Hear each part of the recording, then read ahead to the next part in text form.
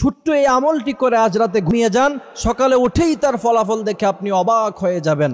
রাতের বেলা যখন ঘুমাতে যাবেন, ছোট্ট এই দশ সেকেন্ডের এই আমলটি আপনি করবেন। সকালে উঠেই দেখবেন যে আপনাকে খুব বেশি ফ্রেশ অনুভব হচ্ছে।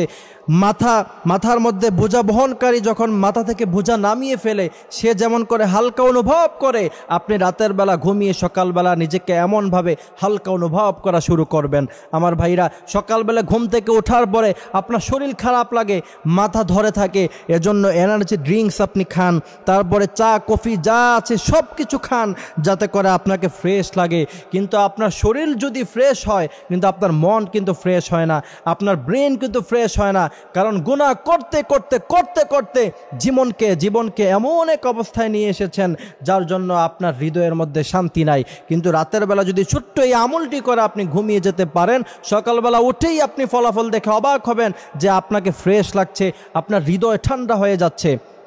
এই আমলটি আমরা সবাই জানি। একজনও এখানে নাই যে আমলটি বলতে পারবে না। একদম সোজা একটি আমল, ছোট্ট, মাত্র 30 সেকেন্ড সময় লাগবে। সর্বোচ্চ এক মিনিট টাইম লাগবে আপনার এই আমলটি করতে।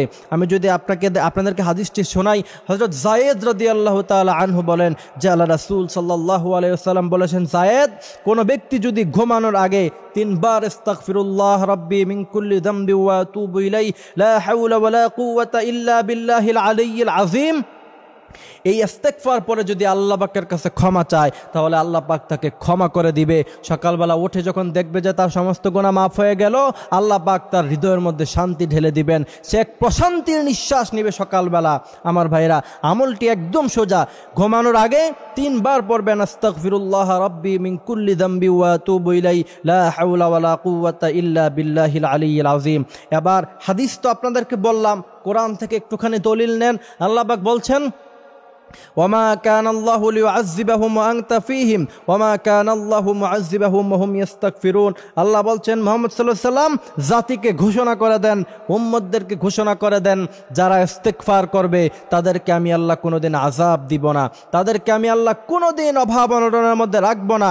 শুধু খালি এক, একজন লোক নয়, গোটা কম যদি ইস্তেকফার পড়ে, সেখানে ওই কৌমের উপরে আমি আল্লাহ পাক কখনো কোনো আজাব দিব না।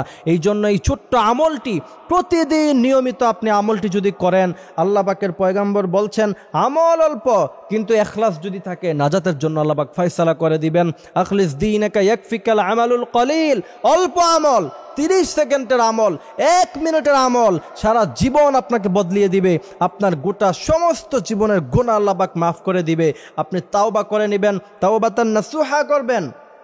তারপরে দেখবেন যে জীবন কত সুন্দর হয়েছে। আজকে গুনাহ করার কারণে আপনার হৃদয়ে শান্তি নাই কারণ আল্লাহ বলছেন, যারা গোনা করে, আমার রিজি, আমার জিকির থেকে যারা গাফেল হয়ে যায় ওয়ামান্না আরদাং জিক্রি ফা ইন্নালাহু মাঈশাতান দঙ্কা। জীবন সংকীর্ণ করে দিব। এই জন্য আমাদের জীবন সংকীর্ণ হয়ে গিয়েছে।